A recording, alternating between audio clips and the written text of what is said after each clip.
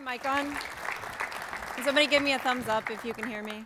Because I can't hear. Okay, great. Um, that works really well because I can't see you. Um, anyway, so the first letter on this repository link here is a T. I will share it again. I also tweeted it out. Um, my name is Catherine Meade. I work at a company called Sparkbox. I'm a full stack developer, whatever that means. Uh, I use she, her pronouns. Sparkbox is a little web shop in Ohio. We have about 40 people. I spend most of my time working on an enterprise level design system. Um, you can ask me about later. So today I'm going to share with you a few tools and techniques to make your pull requests more effective and more collaborative.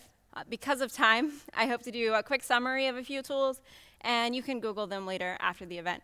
Um, most of these tools are not GitHub exclusive, so I've met people from GitLab and Bitbucket here, and I know there's at least one GitHub person. Um, so hopefully, like you still find something even if GitHub is not your main technology. To start, I should share a bit about context and how Sparkbox does code reviews. Um, we store nearly all of our code on GitHub. We do have one Bitbucket client now. Um, that's kind of new. Um, we use shared repositories dedicated to whatever engagement we're working on. Uh, developers have, whenever developers have new code to add to the project, um, they ask another developer for code review uh, via pull request. Uh, I've come up with six sort of rules that Sparkbox adheres to while using GitHub, and I will just say that I came up with these rules um, for the Sparkbox process, so I do not represent the thoughts and ideas of my employer. um, Rule number one is no one merges their own code. Um, Sparkbox likes to avoid the concept of a developer island, where one developer is writing and merging all of the code for a piece of a website. Last year, we had a client who wanted an additional full-time developer for a side project, but they would be the only developer on that project. Um, we offered instead two developers at halftime. Having a reviewer is that important to us. The second rule is never push directly to master. Pushing directly to master is the easiest way to break everything. Uh, requiring a code review re reinforces the quality that we've come to value as a company. Uh, third rule, if you're working with UI, get a design review. Um, at Sparkbox, we have a position called a front-end designer.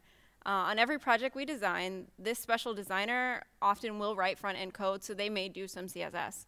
Um, but not every company has designers who know how to code, and nor should they. Um, but that's probably a different talk.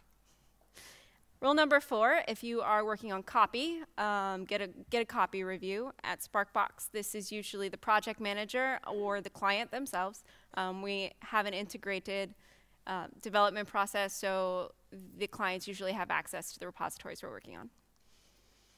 Rule number five is never, ever push directly to master. Again, uh, unless you messed up which if you did, find a buddy to pair with. Uh, which leads me to rule number six, which is these rules are more like guidelines. Uh, and I made them up. but if you follow these six rules, it ensures that we follow the basic Sparkbox creed, which is working together for a web built right.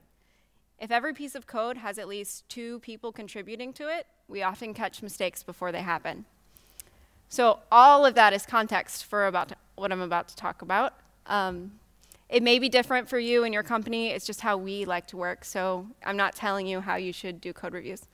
Um, some challenges of collaboration are getting a PR review from a non-coder or getting a PR review from someone who's in a different time zone. Currently, I am five hours separate from most of my team and nine hours separated from the rest. It's not that easy. working with developers who may be only doing reviews on your project or working with um, people who are assigned directly um, to PR review and nothing else. So how, how do we improve these things? So I'm going to give you six steps, I think. I guess I like the number six. Um, tip number one is write good stories. To ensure good pull requests, we have to write good issues. At Sparkbox, we often use ZenHub, GitHub Projects, Jira, or Trello to organize engagements, usually with something like Scrum um, which involves creating stories, which is usually a GitHub issue, representing a bite-sized chunk of work. So let's hope these pictures work right. All right. Uh, stories should include the requirements of the work and potentially a solution if you have one in mind. A story or issue doesn't need to be overly complicated, but it should be easy to understand. A well-written story makes for clear requirements when it comes time to do a PR. And this leads you to my very first tool recommendation, um, the only one that is GitHub exclusive, but I'm sure there's something similar on the other technologies. Um, just for reference in the photo, this is my coworker Austin, who is a project manager, um, explaining that there, this footer is not great, so maybe we can use some of these other colors instead. So GitHub issue and GitHub issue templates and PR templates uh, allow you to add a markdown file to your root directory uh, to outline the issue process. I'll share this link again in a minute. Uh, this is an issue template. Here's my markdown. It's included directly in my project. Um, button. in addition to adding the template file to the root of your project, you can also include it via .github directory. Um, PR templates are also a thing that can go in this directory. They work the same way but have a different file name, and they come up when you do a PR instead of an issue. So here is the issue template on GitHub. When I click the new issue button, the text field populates with the contents of the template file. And then these example files are stored in the repo. I linked at the beginning and I tweeted out, and I'll link at the end, I think, um, if you want to take a closer look. Talk with your project team to decide what you should put into a template. Mine is just an example. It's a very flat example. Um, but a checklist is usually nice, so you can go through and click things off. So there's that link again. I'll give you about 30 seconds, three seconds, two seconds. All right. Tip number two is get the basics right. A good way to frustrate your pull request reviewer is to send them something with absolutely no context. You could respond in kind. These are real, real PRs, people. From my coworkers, they're great. Um, but a few extra minutes to write a thoughtful PR description can go a long way toward easing the work of the reviewer. Uh, we try to include a quick summary of the work being done, uh, usually matching your commit descriptions a link to any GitHub issues or stories, especially if you're using something like ZenHub or Jira for Agile. A link or screenshot of the original design work if you're working on UI. As a developer, I love screenshots in addition to design files because I don't have to open up Zeplin every single time I'm looking at something to build. Um, and step-by-step -step testing instructions, including how to run the linter or how to run the tests uh, how to navigate to any new work, how specifically your new work is meant to function. So here's that PR example again. This is from my other coworker, Brian. Uh, he's hit a number of these um, tips. Um, they should be written in the context of the, the, developer reviewing the work. For example, a PR to a developer who's only doing review or QA may look completely different to the one who wrote the build process. All right. Next tip, enhance your pull request with GIF. This is my favorite GIF because it's a cat, and the cat is coding, and my name is Cat, and I'm a coder. Um, so it's me. I hope you like that joke. It's my only one. Um, uh, so what if a GIF can be more than a quick laugh? GIFs are awesome for showing nav functionality, transitions, hover effects, animations, pretty much any visual aspect of your work. We're a front-end shop, can you tell? GIFs are especially useful for getting a design review of an animation or hover from someone who may not have the site running locally. Um, here is my tool for this one. It's called Recordit. Um, there's the link, it's recordit.co. Recordit is a screencasting service that lets you save your finished recording as a GIF and even gives you a hosted link. Um, an example use case is Foundry, which is a Sparkbox blog um, the CMS that this Foundry is built upon is a really big deal to set up. It may take a full day, uh, especially if it's for a designer or project manager who's just trying to review one or two lines of code or content. By including a GIF, you may give the necessary context and allow everyone to feel confident in what they are approving. Um, so this is just a GIF I made of some functionality. So here's the link to Recordit again. Uh, a downside to Recordit is that it doesn't currently support HTTPS, um, which means, as you may know, that it can't be embedded directly into a PR on GitHub. Um, it can still be sent as a Slack link or just an email or whatever. An alternative, I've recently discovered GIFOX. Um, GIFOX is a native app. It creates GIFs, and you can drop them into GitHub to host them just like you would an image. Um, hosting on GitHub gives you the full security of your repository, so you're not violating your security policies. Um, it does cost $5. Wow, this one's really off. Um, uh, include, it is included in Setapp if you're a Setapp subscriber, and I think this one only works on Mac, but there are lots of GIFing tools out there. It's sort of the thought that counts. All right. The next one is enhancing your pull requests with video. An important aspect of a complicated PR is the ability to walk someone through your code. In the current age, devs are often distributed or remote. We work in different time zones and have busy schedules. Sometimes it is nearly impossible to schedule the 30 minutes to step through your PR. Here's the tool. uh, it's Go Video by Video, Vidyard. This used to be called Viewedit. They changed it right after I wrote my talk, so I had to change it. um, Go Video is a Chrome extension. They also have a native app um, because not everyone is a fan of Chrome. Hello, Mozilla. um, lets a user record their screen, their face, and their voice all at once. Uh, specifically, we used a video project like this on an engagement where the main reviewer, me, uh, was not dedicated to the project full time. Because I was not available for stand-ups, I didn't have a direct hand in building the website, and I wasn't really familiar with the changes being reviewed. The dev had to explain every change for every PR.